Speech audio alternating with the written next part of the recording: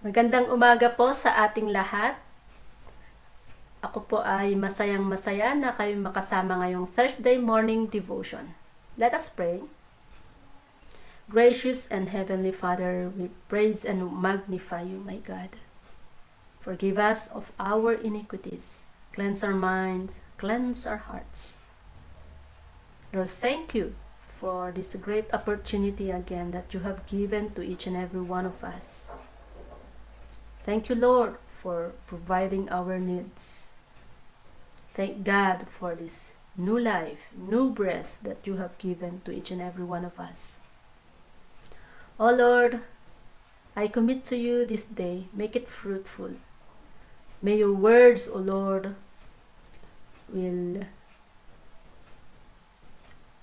be planted in our hearts and it bear fruits.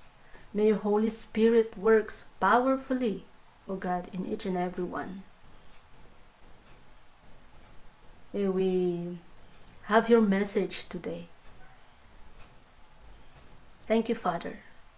May your kingdom come. May your will be done on our devotion as it, as is it in heaven. In Jesus' name we pray. Amen. Kumusta po ka ngayon ngayon? Sana po ay palagi po tayong uhaw sa pakikinig ng salita ng Diyos at pagbabasa ng salita ng Diyos. Nung bata po ako ay na-witness ko po kung paano ang mga pagans na mag-pray. Mayroon po silang mga um, paulit-ulit na sinasabi at in between their prayers may mga chanting na naririnig ko. So, especially kung may occasion sila. At kung sila po ay na, na nananalangin sa kanilang sinasabing God, sa ating sa atin po uh, sa atin po kaya rin na tayo po uh, mga Kristiyanong naniniwala sa ating Panginoong Heso Kristo. Ano po ang sinasabi ng Biblia patungkol sa pananalangin. Okay. So, how should we pray? So, basahin po natin ang ating Biblia sa Matthew 6, chapter 6, verse 7. Basahin ko po dito. Ang sabi nito is, And when you pray, do not keep on babbling like pagans, for they think they will be heard because of their many words. Ito po ay tinuro ni Heso Kristo kung paano po manalangin.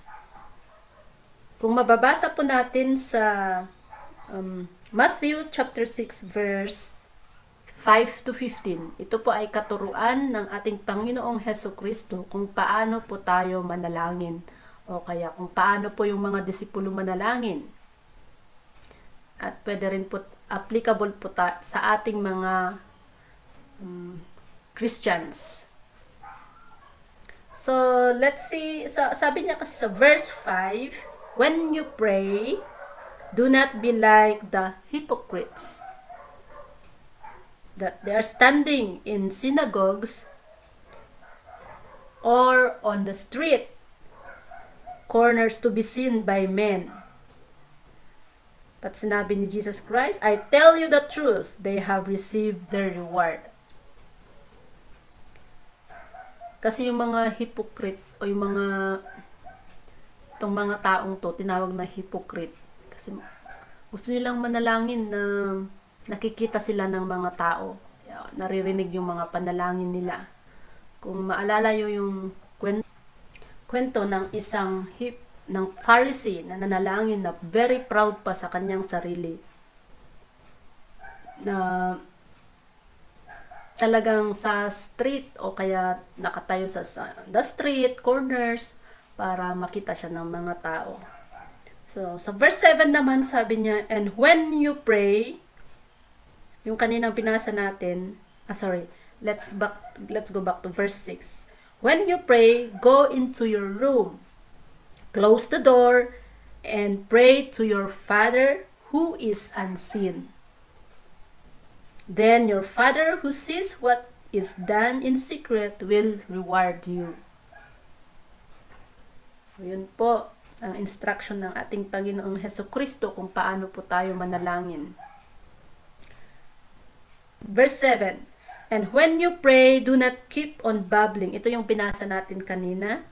For they think they will be heard because of their many words. Sabi niya sa verse 8, Do not be like them. Magpatuloy po tayo. Sa verse 9, ito po ang sinabi ni Jesus. Then, this is how you should pray.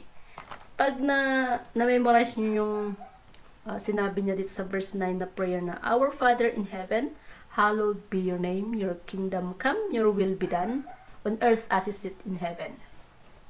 Hindi po yun ang sinabi ni Jesus Kristo na, this is what you pray, kundi ang sinabi niya, this is how you pray.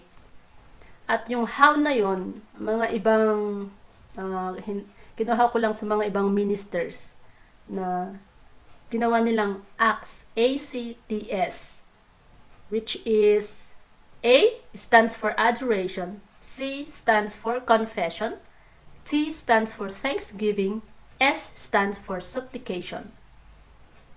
Which yung unang part niya is, Our Father in heaven, who ha hallowed be your name. At ito daw ay ito ay adoration. So first daw sa ating prayer is adoration. Kasi dinruan nga tayo ng Panginoong Heso Kristo kung paano man nangala. Ngayon kaya i-apply po natin. Adoration. Uh, ito po yung um, we have adore Jesus uh, the Lord or our Father. And then next is confession, is to confess our sins and ask forgiveness. And thanksgiving is to thank the Lord for His goodness, for everything He has done, whatever you want to thank for this day and for your lives. And supplication, and then you have to say your prayer. And there is a story of a man who lived alone in a little hut in a forest. So he felt it was his duty to pray before meals and going to bed. So, nagpray siya ng repeated prayers what he have learned when he was a boy. One day, nag-decide siyang every time na mag-pray siya, kuha siya ng walnut. Yung nut na yon at ilalagay niya sa jar. So, hanggang napuno na yung jars, marami na siyang mga jars of walnut. At masayang, mas, masayang masaya siya na self-satisfied siya na siya ay nag-pray-pray. Pero yung pray niya is paulit-ulit lang po na kung ano po yung natutunan niya nung bata pa siya. So, one night, nagkaroon siya ng dream that Jesus stood before him and asked, What is the meaning of all these jars filled with nuts? Then he said, each, uh, each nut stands for a prayer. And then Jesus said, Take a hammer and crack the nuts one by one. He did as he was told and found out not that the kernel or the nuts had dried up. And when he cracked all the nuts, nothing was left but empty shells. So then Jesus said, Your prayers are empty too. You speak words you have been taught, but your heart is not in them. So, brothers and sisters, prayers are meaningful when we put our heart into it, not just from our lips. Our Father in heaven longs his children, longs his children's heartfelt communication with him. Ika nga ng ating author ngayong umaga, vain repetitions are nothing but empty shells.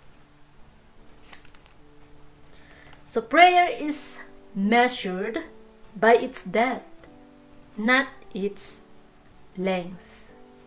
Sana po ngayong umaga is mayroon po tayong natutunan sa pananalangin na tinuro sa atin ng Panginoong Heso Kristo kung paano po tayo manalangin.